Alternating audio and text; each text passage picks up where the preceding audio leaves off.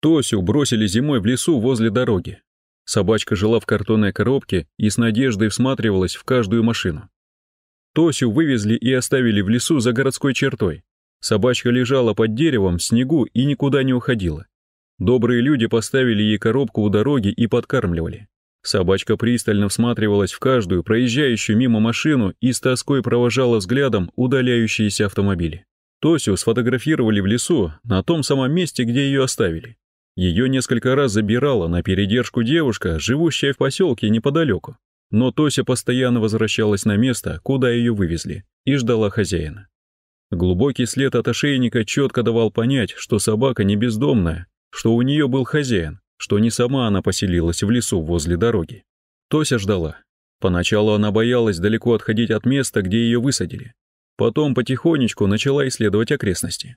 Каждая машина по-прежнему пробуждала в ней надежду. Услышав мотор подъезжающей машины, Тося мчалась из леса, чтобы прыгнуть в объятия вернувшегося хозяина. Но хозяин не приезжал.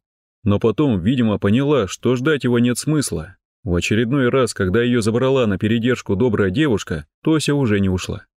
Сейчас Тося готова к поиску дома. Собачка молодая, очень игривая, как щенок. Скорее всего, ей нет и года.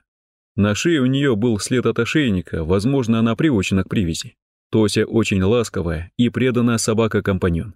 Она отличный звоночек, Тося стерилизована. Если вам нужен друг в частный дом, эта собачка точно для вас. Тося оправилась от предательства, и теперь ей интересны новые знакомства.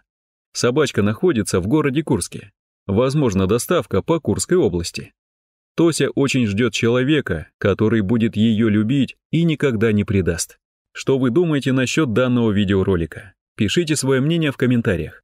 До скорых встреч в новом видеоролике.